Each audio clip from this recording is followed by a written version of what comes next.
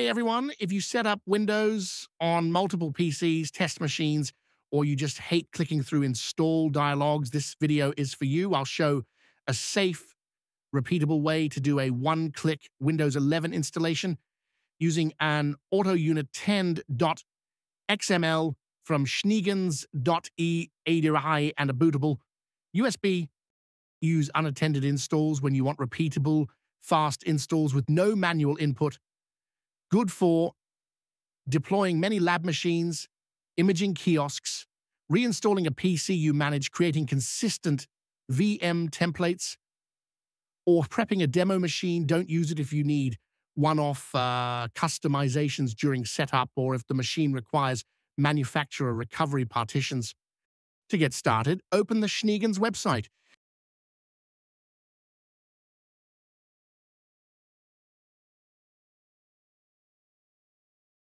Now, carefully fill in the form fields.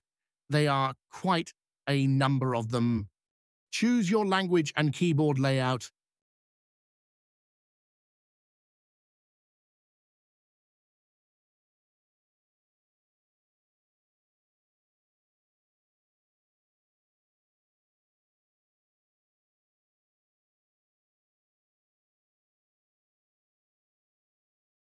Also, select your location.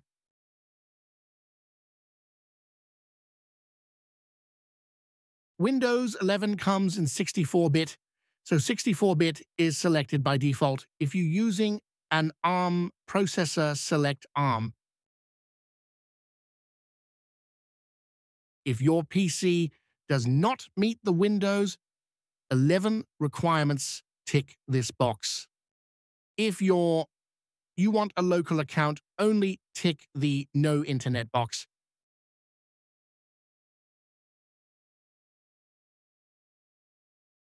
Hide PowerShell scripts from popping up during installation. You can let Windows generate a random computer name or create your own.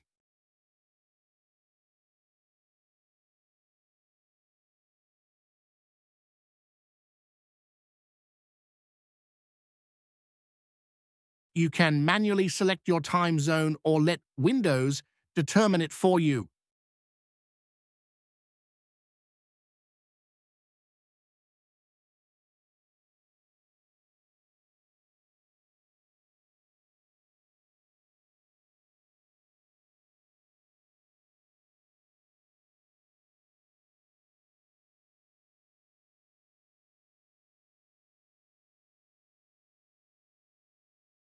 If you do not have a product key, leave it at the default. If you have one, enter it.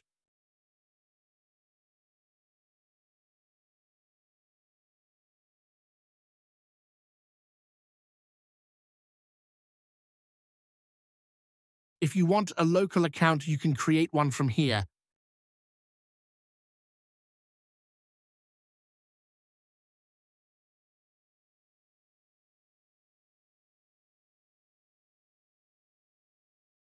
You can choose whether the password expires or not.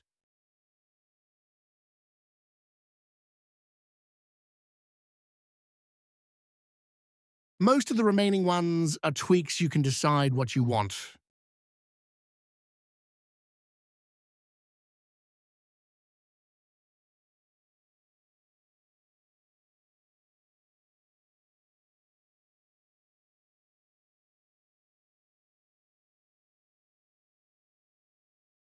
Skip Wi-Fi configs to avoid manual inputs during installation.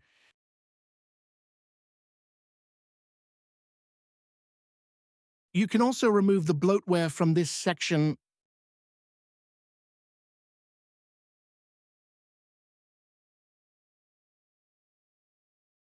So when creating this file, just carefully go through everything and select what suits your needs.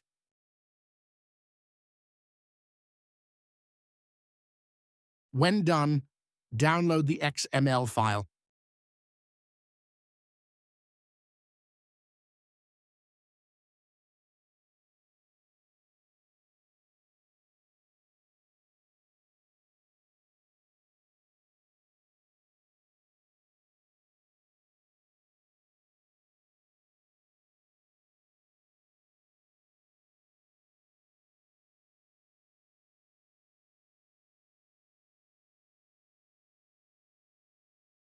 Now, copy your XML file into the root, not inside sources or other folders. Windows Setup will discover it here automatically. Insert uh, the USB into target PC and boot from USB if Auto Unattend is correct. You'll see the install proceed automatically or with minimal prompts. Let it run. It will apply the configuration you set disk layout, product key, user accounts, OOBE choices, scripts.